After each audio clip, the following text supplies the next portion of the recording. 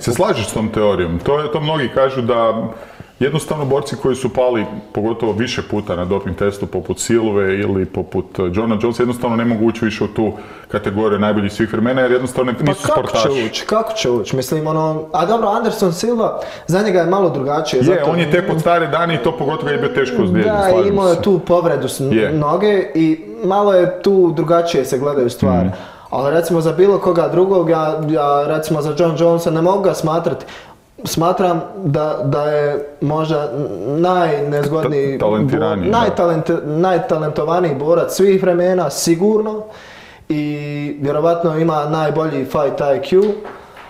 Ali kako mi da znamo kakav je on zapravo kada je on bio nasviran dok je ostvarivao te svoje rezultate. I meni je sad ono nejasno kako Jel vjeruješ u ove priče koje on i njegov tim sad prodaju, Ma- ma, a to je ono prvi put da je uzimao dick pill, znaš šta je to, Ma, znam, a drugi put da je, uh, da su kontaminirani suplementi bili s tim da nije mogao uopće pokazati koji je to, i sve su testirali i nisu našli ništa. Teorija jest koju je kroz svoj podcast iznio, vjerojatno i znaš sam John, ovaj, Joe uh. Joe Rogan, koji je čuo vjerojatno jer je unutar promocije, da je čovjek uh, par tjedana prije toga šmrko kokain jer mu je bio rođendan i da kako se kokain razrjeđuje s kreatinom da bi bio jeftiniji naravno, a kreatin se pak radi u istim tvornicima kao i steroidi u Aziji, kineski, Da. naravno i da je on jednostavno tu pokupio te male količine um, znači nedozvoljenih sredstava. S te strane, ok, možda mu nije pomagalo,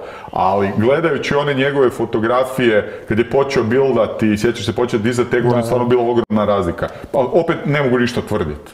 E, Koji je tvoj stav? Ma ja mislim da je to sve šuplja. Da se razumijemo, mislim da si pao jednom na testu, pa da ti se to desilo, koja je vjerovatnoća da padneš četiri puta, tri puta na, na istom tom doping testu i da se takva neka banalna stvar dešava toliko puta, meni je to smiješno, znači mislim, mislim da ti ljudi onaj koji to tvrde da jednostavno sebe žele da uvjere, ono, ne znam zbog čega, ali po meni je John Jones varalca prije svega. Možda najtalentovaniji borac svih vremena, ali varalca. I šta tu više da pričamo, meni je, ono, me- meni je smiješno da, da, da ljudi, ono, kao govore kao DC je uh, nešto kao on je pusi, on, on je izgubio od njega ovako, onako čovjek je, znači, pobjedio je sve borce. DC je pobjedio sve, izgubio samo od jednog čovjeka. Mislim, ono, i, i taj čovjek je bio uh, na dopingu.